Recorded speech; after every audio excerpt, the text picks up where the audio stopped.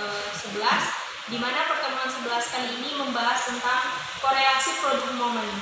Kita kembali eh, ke pengertian sebelumnya eh, yaitu pengertian korelasi produk momen. Yang pertama adalah pengertian mengenai korelasi. Korelasi adalah istilah statistik yang menyatakan derajat hubungan linear searah bukan timbal balik. Linear artinya searah bukan timbal balik antara dua variabel atau lebih. Sedangkan produk momen person adalah teknik korelasi yang kedua variabelnya berskala interval. Dan e, di sini ada beberapa teknik analisis korelasi e, person product moment. Yang pertama adalah kita bisa menggunakan e, teknik analisis menggunakan data interval dan kita juga bisa menggunakan e, rasio atau ratio dengan persyaratan tertentu. Jadi, di dalam teknik analisis korelasi person produk moment ini menggunakan dua teknis di mana teknis ini e, berdasarkan pada persyaratan tertentu. Kemudian selanjutnya adalah adapun beberapa kegunaan korelasi produk moment sendiri di mana terdapat atau dibagi menjadi dua yaitu yang pertama menyatakan ada atau tidaknya hubungan antara variabel x dengan variabel y. Ketika variabel x e, dan y mem memiliki hubungan, maka atau tidak memiliki hubungan, maka korelasi produk momen e, person ini e, bisa membantu kita. Kemudian yang selanjutnya adalah menyatakan besarnya sumbangan variabel e, satu terhadap yang lainnya yang dinyatakan dalam persen. Jadi korelasi produk momen juga sendiri bisa menyatakan persen e, dengan menyatakan besar sumbangan suatu variabel e, tersebut terhadap e, yang lainnya dan pembahasan selanjutnya akan dibahas oleh e, presenter. Baik, setelah kita mengetahui fungsi daripada e, produk momen person, maka rumus yang digunakan untuk mencari nilai person product moment yaitu RXY sama dengan data atau N dikali dengan sigma SY dikurang sigma X dikali dengan sigma Y. Kemudian dibagi dengan nilai akar dari N sigma X uh, sigma X kuadrat dikurang dengan XY yang dipangkatkan 2 dikali dengan N data dikali sigma Y kuadrat dikurang sigma Y yang dipangkatkan 2 matikan. Maka rumus yang digunakan yaitu R X Y sama dengan N dikali dengan sigma XY dikurang sigma X dikali dengan sigma Y dibagi dengan nilai dari akar N sigma X kuadrat dikurang X sigma X yang dipangkatkan 2 dikali dengan sigma N uh, data dikali sigma Y kuadrat dikurang dengan sigma Y yang dipangkatkan 2 Kemudian untuk menyatakan besaran kecil atau sumbangan variabel X terhadap Y, maka dapat dicari dengan koefisien determinan atau KD sama dengan R kuadrat dikali dengan nilai 100%.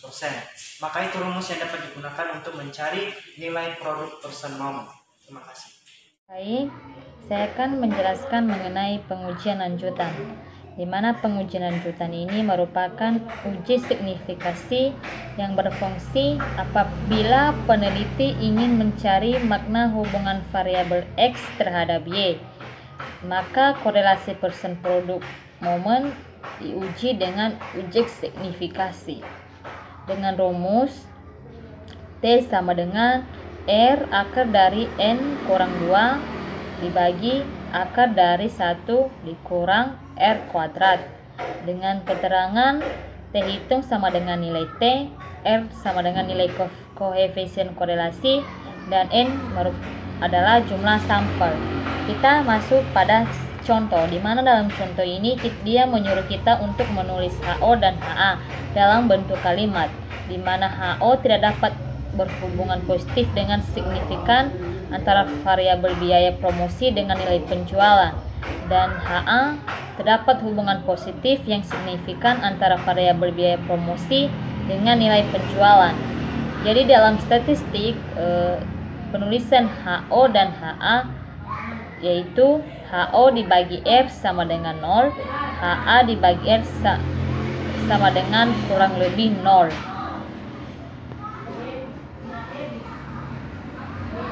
Baik, setelah teman kami telah menjelaskan uh, mengenai rumus mencari person, nah di sini kita dapat melihat uh, tabel person atau tabel penolong, yang mana uh, terdapat nilai penjualan atau Y, biaya promosi atau X, kemudian XY, X kuadrat, dan Y kuadrat. Contohnya 64, uh, nilai penjualannya sama dengan 64, X sama dengan 20, XY sama dengan 1280, X kuadrat sama dengan 400, dan Y kuadrat sama dengan 4096. Setelah kita uh, mendapatkan uh, tabel penolong, maka kita masuk pada rumus uh, untuk mencari person atau R.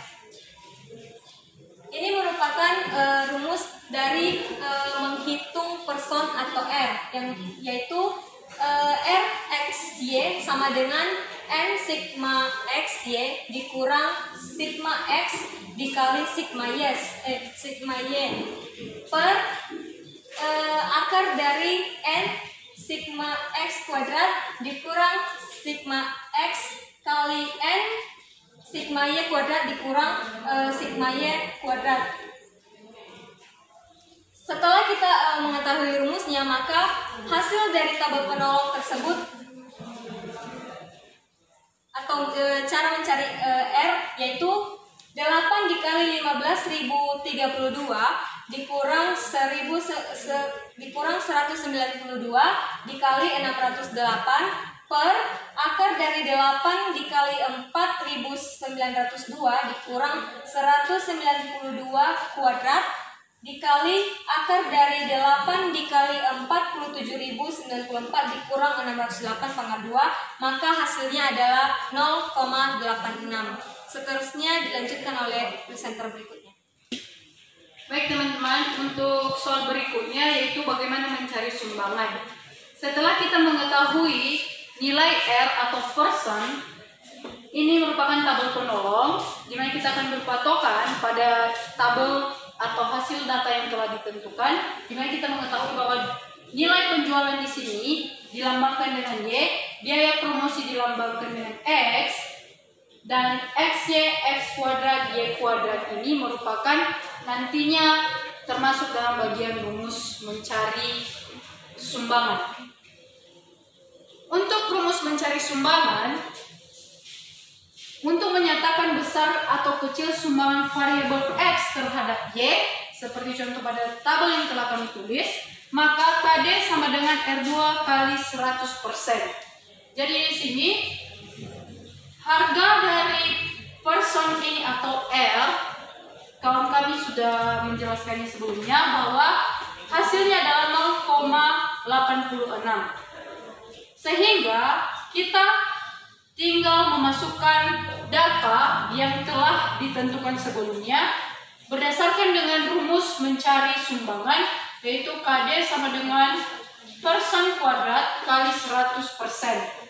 R2 telah ditentukan yaitu 0,86 dipangkatkan 2 kali 100%. Maka hasil dari 0,86 pangkat 2 adalah 0,7396 kali 100%. Maka dari hasil e, perkalian antara R2 dengan 100 adalah 73,96%. Demikian dan terima kasih.